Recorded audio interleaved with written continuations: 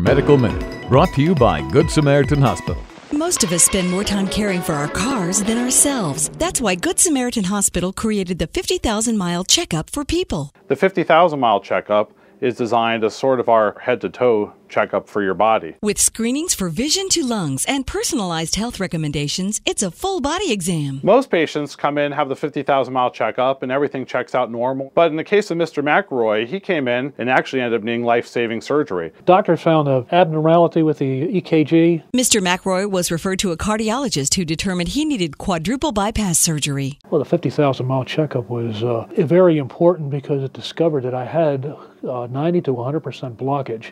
The uh, 50,000 mile checkup uh, actually saved my life. We attribute the 50,000 mile checkup here at Good Samaritan to the fact that I have my husband with me today. Call 410 Good Sam to schedule your 50,000 mile checkup today.